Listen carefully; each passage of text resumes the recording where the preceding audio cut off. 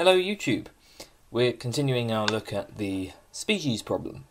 Okay, so next up is the cohesion species concept, which was developed by Alan Templeton. Templeton says that a species is the most inclusive population of individuals having the potential for phenotypic cohesion through intrinsic cohesion mechanisms. Um, so essentially, this species concept begins with the obvious idea that the living world is separated into discrete clusters of organisms, and we call these discrete clusters species. So the question for any species concept is, what is it uh, that makes populations of organisms discrete? What is it that maintains this discreteness? Um, the morphological species concept uh, doesn't really provide a, a, any kind of mechanism for this. It just says that discreteness obtains in the fact that populations look different, uh, the biological species concept says discreteness is created by reproductive isolation. Um, ecological species concept says discreteness is a matter of the particular niche that organisms occupy.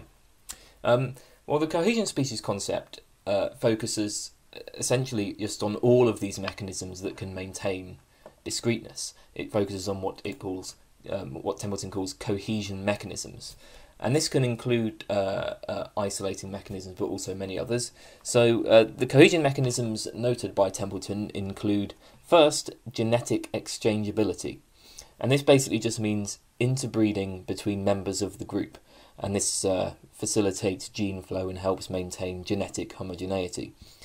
Uh, reproductive isolation from other groups. So this distinguishes the gene pool of one species from another. So that's just like the biological species concept. Um, Templeton actually points out that his species concept focuses not just on reproductive isolation from other species, but also reproductive cohesion within the species, though I'm not really sure that there's any significant difference between those two things. Surely uh, reproductive isolation from other species would suggest that the species is also reproductively cohesive within itself. So I'm, I'm not I'm not sure I understand Templeton's distinction there. Um, it seems to me that genetic exchangeability is basically just the same thing that the biological species concept is talking about.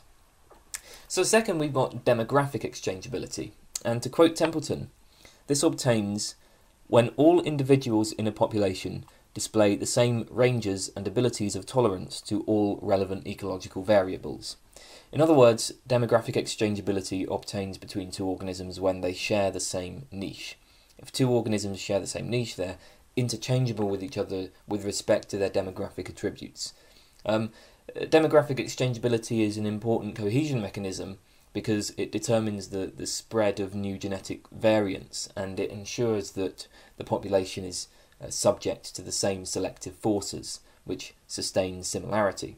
So suppose you have um, two populations that are largely isolated geographically. Maybe, for instance, sea levels have risen and the two populations are now mostly disconnected on two islands. So there's very little gene flow between them. So there's there's there's very little genetic exchangeability. But if the two populations are demographically exchangeable, if they share the same ecological range, uh, and if both islands have very similar environments, then each population will be subject to very similar selective pressures. And given that these uh, two populations are separate, genetic drift will tend to pull them apart, but strong stabilizing selection could maintain their similarity. So you can see that demographic exchangeability works as a, a cohesion mechanism, keeping uh, populations the same. Now, the big question for the cohesion concept is whether uh, each of these criteria is individually necessary or merely individually sufficient. And this question leads to uh, something of a dilemma for the cohesion concept. Suppose we say that both genetic exchangeability and demographic exchangeability are necessary for a population to count as a species. So a true species must exhibit both genetic and demographic exchangeability. On this view, the cohesion concept is far too strict. Uh, it suffers many of the same problems we saw for the biological species concept. It doesn't apply to asexuals, for instance, because um, asexuals are not, uh, don't have any genetic exchangeability.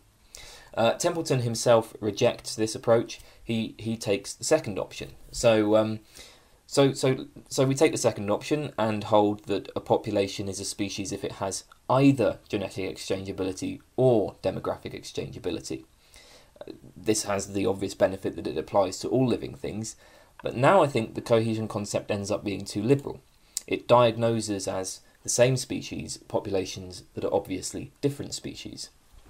Um, so when discussing the ecological species concept, we saw the example of the two ant species, where one species of ant outcompeted the other, and the ecological concept has difficulty with this.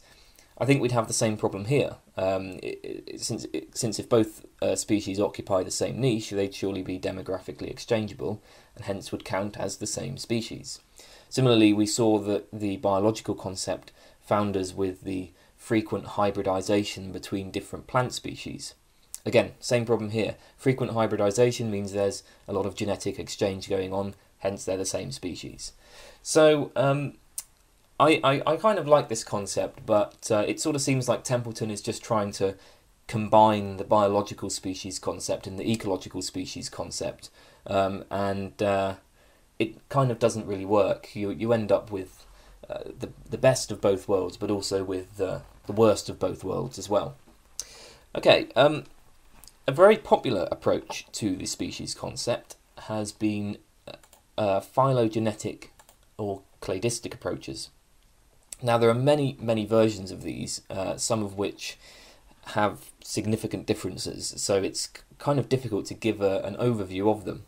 But I think that most phylogenetic species concepts are united by a basic claim, which is essentially uh, all individuals of a species must uh, uh share, all, all, all populations that count as a species must share their most recent common ancestor.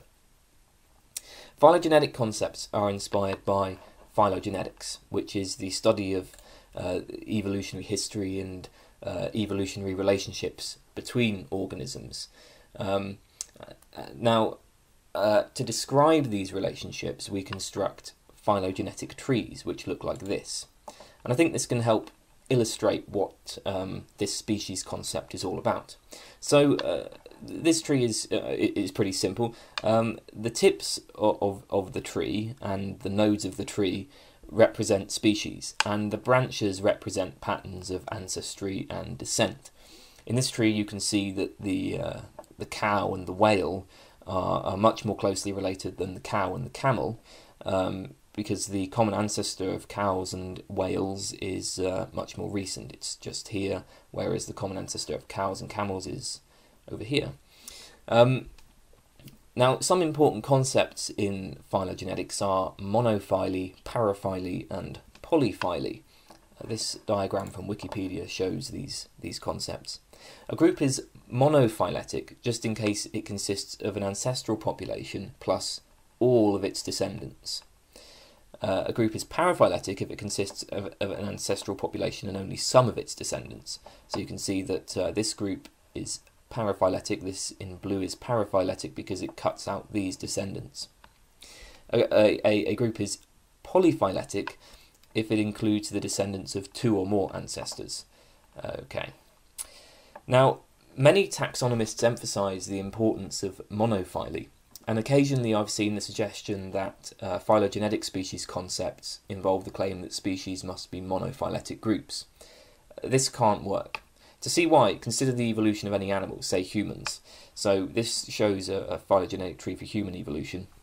The question is, how do we distinguish the ancestral population um, at this point here?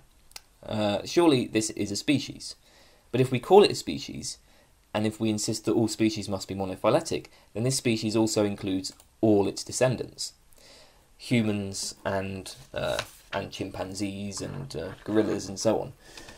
So we'd be saying that humans and chimpanzees are the same species.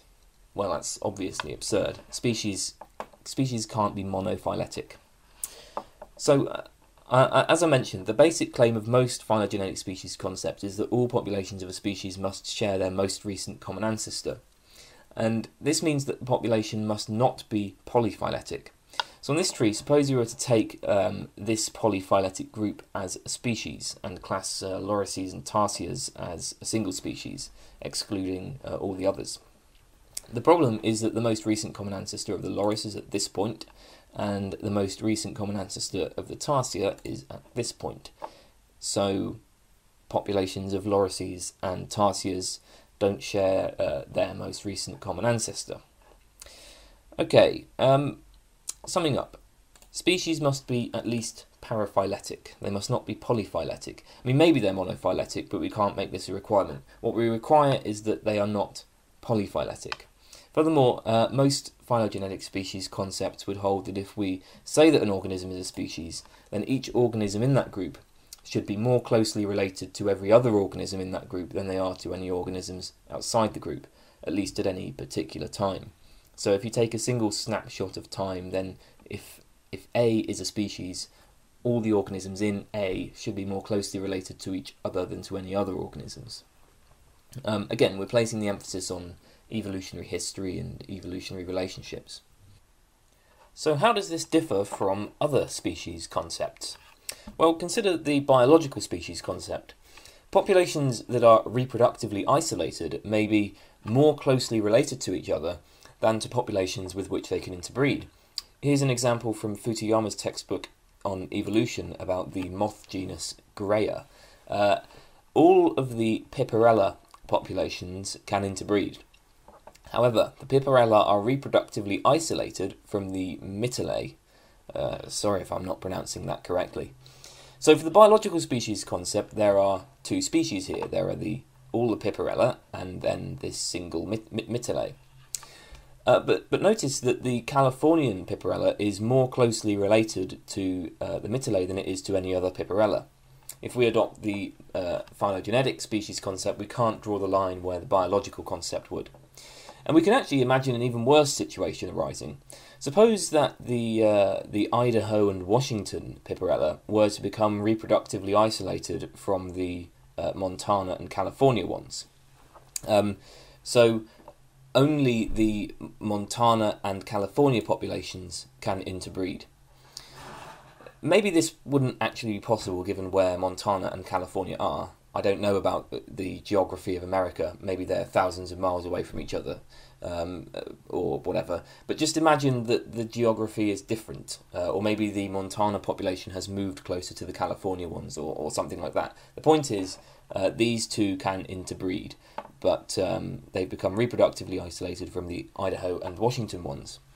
Um, clearly, the biological species concept would say that these two are a single species, excluding the others. This would clearly be unacceptable for the phylogenetic species concept.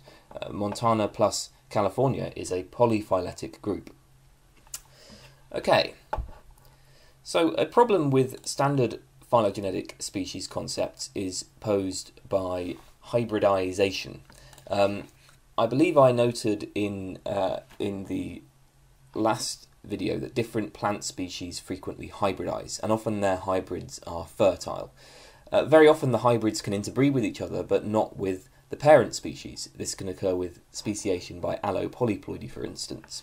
So if we were to draw this evolutionary relationship, we'd get something that looks like this. Um, two species A and B give rise to the hybrid D. D is isolated from both A and B. Uh, and over time, these lineages may diverge significantly from each other. So clearly, we'd want to recognise um, at least three species here A, B, and D. The obvious problem is that we can't say that the organisms in lineage D share a most recent ancestor. There is no single most recent ancestor, but two.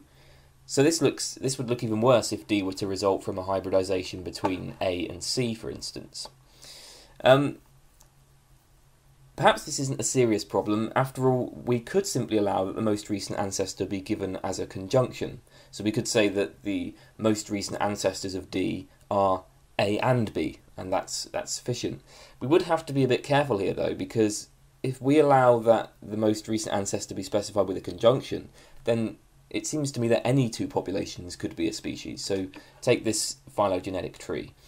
Um, we could say that the organisms of B and E are all a single species because the population B plus E shares the most recent ancestors at H plus J. So we'd have to be kind of careful how we uh, sort of work that out if we're going to specify most recent ancestors as a conjunction. Um, one way to avoid all these problems is provided by Mark Ridley's cladistic species concept. What is cladistics? Well, cladistics is basically just phylogenetics. Uh, some people use the terms interchangeably, some use cladistics to refer to a particular set of methods for phylogenetics, uh, but both cladistics and phylogenetics are concerned with the evolutionary history, the evolutionary relationships between populations. So, for our purposes, cladistic species concept is really just another way of saying phylogenetic species concept. But uh, Ridley has decided to call his particular phylogenetic species concept, the cladistic species concept. But um, don't don't worry too much about the name. So Ridley's species concept is probably the simplest of all the phylogenetic species concepts, and I think it avoids some of the main problems. According to Ridley, a species is a set of organisms between two speciation events, or between a speciation event and an extinction event. In other words, a species is a set of organisms between branches on a phylogenetic tree. Here's um, an image from Ridley's article that illustrates the idea. At time t1, we start off with species A. A new species evolves from A, species C. Uh, so we, we have a branching on the tree, okay? We ha- and and um, two new species B and C. And this kind of species concept copes very well with hybridization. So here's uh, another uh, image from, from Ridley's article. D and K have hybridized into species H. So it's very simple. For every new branch on the tree, we have a new species. Um, actually, I should note that this image is maybe not very realistic because usually when species hybridize, the two parent species don't simply go extinct. If D and K had persisted as well, then we would have three branches representing a trichotomous speciation event. Uh, the hybridization of D and K would have produced three new species P, H, and Q. Um, but uh, all you need to remember for this species concept is that if, if you draw the, the phylogenetic tree, every time you put a new branch on there, you get a new species. Um, so down here we have species A that, that branches, so then we get B and C. Uh, C branches, so we get E and D, and so on. So that's, I think, very uh, very simple. That's that's a nice that's a nice uh, simple species idea, and it and it copes perfectly well with with hybridization. Okay, let's consider some problems. First of all, there's the problem of anagenetic speciation. There are essentially two types of speciation. There's cladogenesis and anagenesis. In cladogenesis, the parent species splits into two daughter species. In anagenesis, the parent species becomes a new species uh, as a result of changes in its own lineages, in its own lineage. There's no splitting. The parent species uh, sort of morphs into a single daughter species without uh, without splitting off into anything else. The problem is that this form of speciation would seem to be ruled out by Ridley's definition. If we were to draw anagenetic speciation on a tree, it would simply be a straight line with no branching, which means it would all be one species. Second, this species concept generates new species even without change. On Ridley's definition, if species A produces a new species, B, then A ceases to exist, and we have B and C. Um, as uh, Ridley put it in his article, this is this is rather like saying that a mother ceases to exist and becomes a new person just because she's given birth to a child. So, summing up these two problems, on Ridley's cladistic concept, uh, the, the concept of species becomes totally divorced from phenotypic differences. Radical changes don't necessarily result in new species, uh, and in indeed, new species can uh, arise without any change happening at all. Ridley's um, response to both of these objections is, is simply to bite the bullet. He says that both objections are inspired by thinking in morphological terms. Recall the morphological species concept, which we saw is deeply implausible, uh, defines species in terms of similarity between the organisms. Ridley's charge is that these two objections arise from our commitment to morphological thinking. In the first case, we assume that since the lineage has changed so much, it must be a different species. In the second, we assume that uh, the lack of change means that it must be the same species. Ridley simply rejects these assumptions. And I think that's a, fairly reasonable response, although I suppose we might worry about how far we could push it. I mean, it's conceptually possible, although extraordinarily unlikely, that a population could begin as um, a mouse or even a bacteria and then change gradually into humans with no speciation events occurring. On the cladistic model, this would all be one species. Um, I, don't, think that's such a big deal, though. I mean, nothing like that has ever happened or will ever happen, so um, I, I don't think we really need to worry about that kind of ridiculous sort of case. Um, maybe a, a, more serious problem, uh, pointed out by Marc Ereshefsky, is that it's very difficult to apply phylogenetic concepts to prokaryotes. This is because of lateral gene transfer, which I explained in the last video. Bacteria and archaea promiscuously share genetic material. Um, this means that different parts of the genome of any one species are going to have widely different evolutionary histories.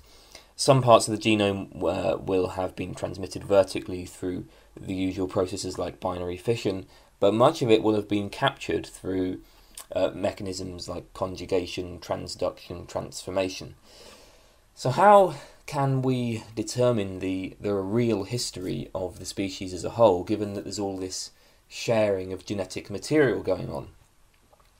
Uh, Ereshefsky notes that one solution to this, uh, to identifying microbial species, is using what's known as core genes. Core genes control central functions like cell division and metabolism, whereas auxiliary genes are involved with things like uh, the kinds of environments the organism can inhabit and the kinds of resources it can use. Core genes tend not to be involved in lateral transfer, so are, are good indicators of the phylogeny. However, Ereshefsky points out that first, core genes comprise only about 5% of the genome, and second, while it might not happen so often, it's certainly possible for organisms to capture foreign core genes, and in some cases this can be beneficial for them. Lateral gene, gene transfer happens less often with core genes, but it still happens. So appealing to core genes uh, maybe dampens the problem a little bit, but doesn't really solve it. More seriously, even aside from lateral gene transfer, uh, genes uh, can have different phylogenies. This need uh, need not result from, from lateral transfer. Standard vertical transfer can cause this. Here are four images taken from uh, and Orr's article on speciation. Um, so A, B, and C are three different species, and the, the, the, the thick branches represent their phylogenies. The thin lines with dots are gene trees, representing the phylogenies of the genes. Um, so, so you might so uh, in in this case, for instance, we have a particular gene here that is in uh, species A, and we can kind of track that back to its its ancestor. Um, the trouble is that different genes have different phylogenies. In in this case, um, we can see that A, B, and C are clearly distinguished as different species. But obviously, this uh, kind of the, the, differences, the way that different genes have different phylogenies, that has the potential to cause problems in cases where we're unsure whether two populations are the same species. And we try to apply this method of analysing core genes. When we analyse core genes, they're going to have different histories, so that's going to make it very unclear whether we have how to distinguish the populations. I mean, imagine if, for instance, uh, instead of having three clear species, we were to analyze it sort of we were in the middle uh, of this particular tree, just here, say. Um, it would be very difficult in this case to use these genes to determine uh, which species are which. In any case, I mean, putting aside all of these problems, I think there's something kind of ad hoc about this suggestion of appealing to, to, core genes. The only reason why we're ignoring auxiliary genes is that these cause problems for the phylogenetic species concept. But why shouldn't we simply conclude from this that there's something inadequate about the phylogenetic species concept rather than concluding that auxiliary genes should be ignored? I mean, bear in mind, it's not like auxiliary genes are trivial. They comprise most of the genome and have important functions in adapting the species to the environment. Finally, there's a fairly obvious problem with the phylogenetic approach as I've explained it. The phylogenetic concept only supplies necessary but not sufficient conditions for identifying species. two populations of organisms are a species uh, only if they share uh, their most recent common ancestor, only if they're more closely related to each other than to anything outside the population. Well, fine, but that's incomplete. Ridley's cladistic uh, definition makes the problem explicit. A species is a set of organisms between two speciation events, or between a speciation event and an extinction event. Well, what exactly is a speciation event? Surely, in order to tell whether uh, whether or not a speciation event has occurred, you need to have some prior understanding of what a species is. So the definition ends up looking uh, viciously circular. The solution is that phylogenetic species concepts often include other species concepts. So, uh, in order to define a speciation event, the cladistic concept has to appeal to other concepts. But then this raises the question if we have to appeal to some other concept anyway, why not simply define species in terms of that concept? Why do we need the phylogenetic species concept at all? Okay, um, we've examined five different ways of defining the term species uh, morphological, biological, ecological, cohesion, and phylogenetic. They all have some obvious limitations. Uh, now, in fact, I've only scratched the surface of species concept. Uh, at this point, there are probably something like 20, 25 going around in the literature. So we have a lot of options, um, but there hasn't been much progress on deciding which one to adopt. This leads naturally to the thought that maybe our way of approaching the problem is mistaken. So the unspoken assumption of this presentation so far is that there must be one right answer. What is the one single species definition? This view is attacked by species pluralism. On pluralism, many different species concepts are equally legitimate. There are many equally legitimate ways of dividing living things into species. We don't have to dogmatically insist on adopting just one way. So there are many considerations that motivate pluralism.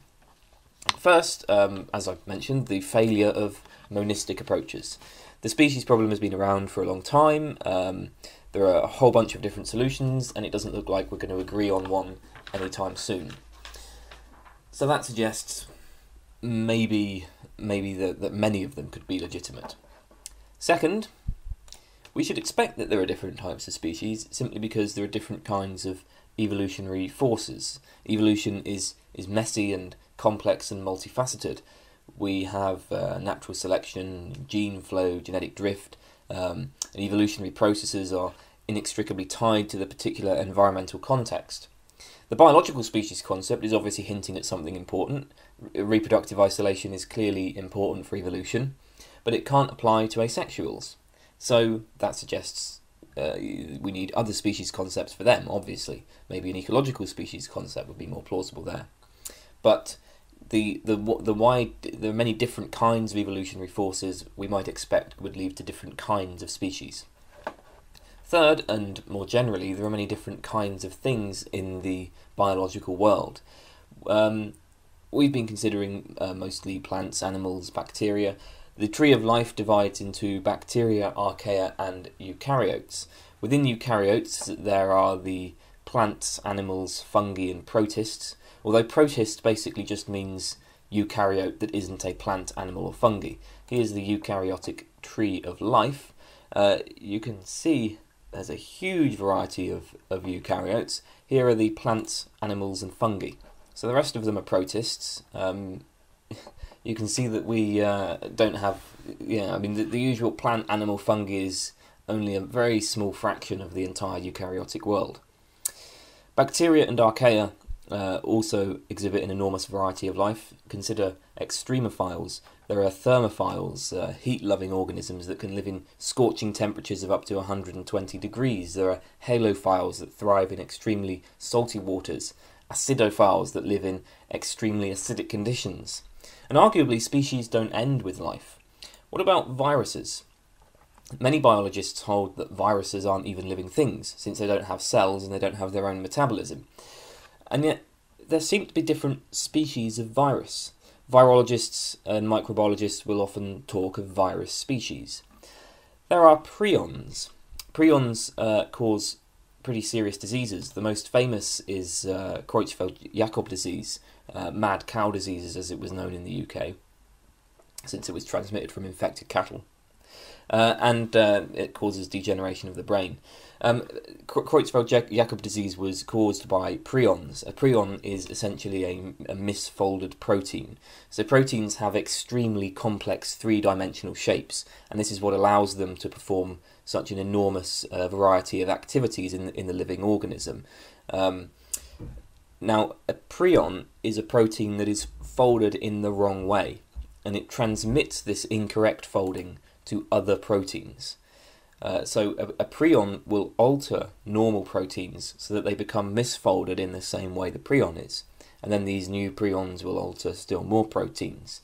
Prions are quite remarkable because they don't even have any DNA or RNA. And yet it seems that we can talk about species of prions. There are different kinds of prion. They do different things. They're subject to natural selection and mutation. Fourth, uh, reflecting the diversity of life, there are many diverse sciences of life ecology, evolutionary theory, systematics, molecular genetics, biochemistry, botany, zoology, paleontology, physiology. The concept of species will appear in all of these sciences, uh, and it's to be expected that different sciences may need to precisify this concept in different ways. Here's a quote from James Mallet about the uh, uh, different uses of species concepts. He says, The main use of species in taxonomy and deriv derivative sciences is to order and retrieve information on individual specimens in collections or databanks. In evolution, we would like to delimit a particular kind of evolution, speciation, which produces a result qualitatively different from within population evolution, although it may of course involve the same processes. In ecology, the species is a group of individuals within which variation can be ignored for the purposes of studying local populations or communities, so that species can compete. For example, uh, while subspecies or genera are not usually considered in this light. In biodiversity and conservation studies and in environmental legislation, species are important as units, which we would like to be able to count, both regionally and globally. Philip Kitcher makes the uh, interesting point that there are at least two di different parts to any question we might ask in biology. First, there are the historical or evolutionary relationships. Um, we, we might look at the history of a particular species, for instance, and then there are structural or functional considerations. So we might look at what role the species plays in its ecological community, how it behaves in relation to other species, and so on. At least two different concepts of species follow from this. For instance, historical evolutionary considerations might lead to the phylogenetic concept, structural functional considerations might lead to the ecological or biological concept. Now, with all of these points in mind, uh, it, it, would be fairly incredible if there were just one legitimate way of grouping entities into species. Of course, there is um, the, the kind of big question here, which is how exactly can we decide do we decide which species concept to use can we use just anything i mean there's a difference between holding that there are many acceptable species concepts and holding that determining species is totally arbitrary well defenders of pluralism generally agree that there are a variety of uh, constraints on appropriate species concepts here are a few suggestions from uh, Jerry Coyne and H. Allen Orr, quoted in Futuyma's textbook on evolution. Futuyma said, uh, uh, lists them as giving five criteria. A good species concept should first enable us to classify organisms systematically. That's a fairly obvious point. We need some clear way of distinguishing species. Second, correspond to discrete groups of similar organisms. Third, help us understand how discrete clusters of organisms arise in nature. Fourth, represent the products of evolutionary history and fifth, apply to the largest possible variety of organisms. Coyne and Orr themselves favour the biological species concept, but then so they're not uh, pluralists, but defenders of pluralism could appeal to criteria like, like those. Now, one way of defending pluralism has been suggested by um, Massimo Pigliucci, who argues that species is a family resemblance concept, uh, drawing on the work of Wittgenstein. One of Wittgenstein's main arguments was that philosophers don't pay enough attention to how people actually use language. In particular, he was very skeptical of conceptual analysis, of um, the way that philosophers will analyze words to get to their real meaning. Uh, for Wittgenstein, language is irreducibly complex, and it's messy, and it's inextricably connected to practical activities, to what he calls forms of life. Speaking a language involves being part of a particular form of life. Uh, involves engaging in shared projects and traditions, conventions, and cultural practices, and so on. So, if you want to know what a word means, you have to consider um, it, it, the, the form of life in which it occurs. You have to consider its context of use. So, we have this idea of a um, of a family resemblance concept. What's family resemblance? Well, Wittgenstein introduced this uh, this idea with the example of games. What exactly is a game? Wittgenstein says that there's no one single definition of game. There is no single set of properties that all games share that makes them games. Anytime we attempt to define the word game, we'll end up either excluding loads of things that are games or including loads of things that aren't. Just think about all the things that games can be. There are board games, card games, video games, competitive games versus purely cooperative games, solo games versus group games, games involving special equipment. There are weird abstract games like Hypergame, which generates a nice little paradox. Look it up, Hypergame uh, or the game, the one where if you think about it you lose. Um, many games are fun, but there are uh, there are violent, coercive games, and so on. So games aren't sorted by strict definitions. How do we determine whether or not something is a game? If there's no strict definition of game, how do we uh, how do we how do we know whether or not something is a game? Well, it's it's simple. Something is a game just in case it bears an appropriate resemblance to the various other things that we call games. Let's say that game 1 has properties A, B, C, D, game 2 has properties B, D, G, H, uh, game 3 has properties C, E, H, I. And then we come across some new activity that has the properties E, F, G, H. Now notice that this new activity doesn't share any properties at all with game 1, but we might still class it as a game just because it shares enough relevant properties with other games. This is how we uh, we actually identify games in real life. So um, uh, I want you to do something for me now. Uh, pause this video and look up a video on YouTube called called uh, Inuit throat singing. Kathy Keknek and Janet Aglukark.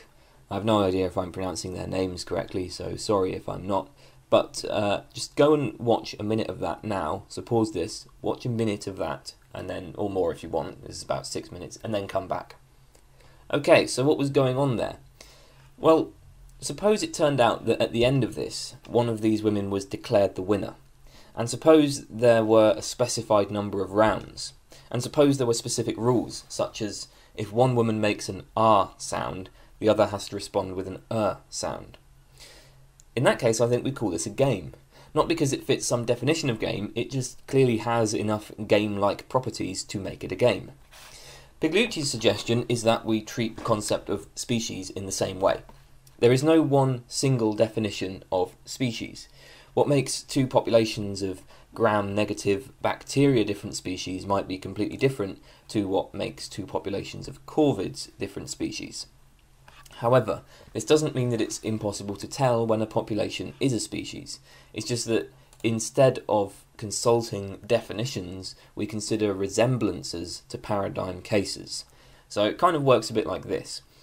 Uh, there are paradigm examples of populations that count as the same species, and paradigm examples of populations that count as different species. Here are some paradigm examples of the same species and paradigm examples of different species. So what we do is we, we have this, and we, we, this is just part of our background knowledge. This is just part of our the, the, the background way in which we would use the word species.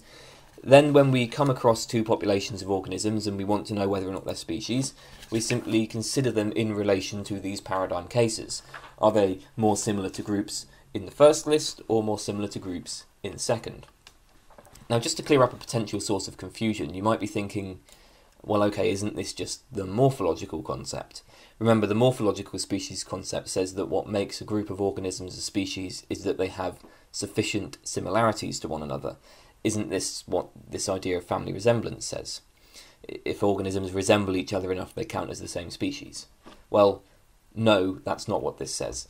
The idea isn't that we group organisms based on similarities between the organisms, Rather, the idea is that there are various different species determining properties, and they're all equally legitimate, and whether or not a property counts as a species determining property depends on its similarities to other species determining properties.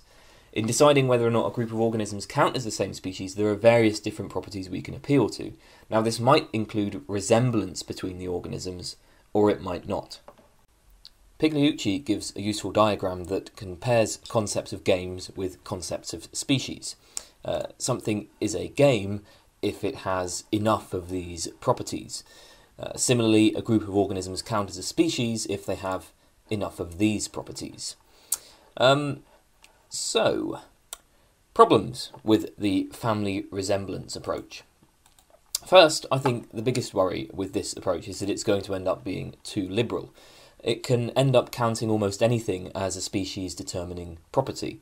We saw earlier that we need to draw distinctions between different properties because some properties that we might use to define species are clearly misguided, uh, and, and some properties should be weighted more heavily than others, and so on. But the family resemblance uh, method doesn't really provide any guidance. So, I mean, take uh, the morphological species concept. Well, I think there's a good argument that this species concept is straightforwardly wrong and misleading. Uh, even if we use morphological criteria in practice to identify species, in principle, it's it's clearly wrong-headed.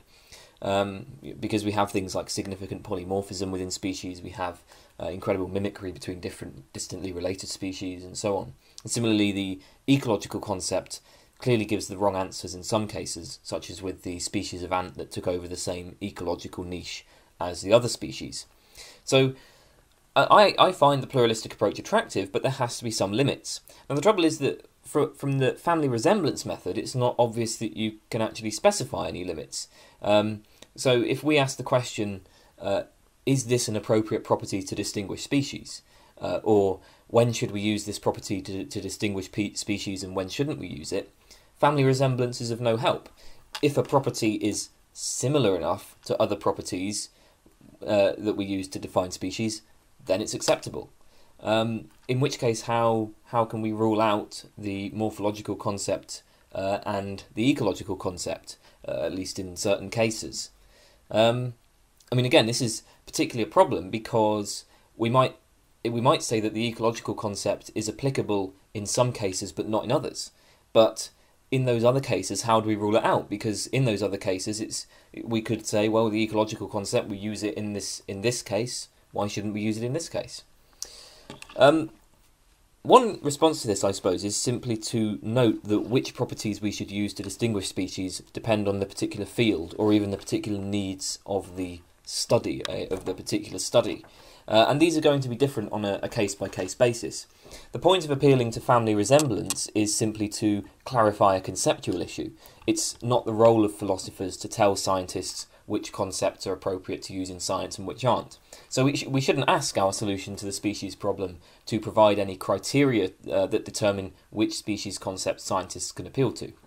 I think the trouble with, with this response is that it makes the family resemblance approach nothing more than a description of pluralistic use of language in science, which is frankly trivial. I mean, obviously, scientists define species in different ways. That's why there's so much controversy about how to define species. Um, so this just that kind of response just renders this approach um, kind of empty. I think. Second, uh, I, I think there's a, concern that the whole idea of applying family resemblance to a scientific concept like species is fundamentally misguided. We apply the family resemblance method in cases where it doesn't make any sense to be exacting. But the whole point of science is to be exacting.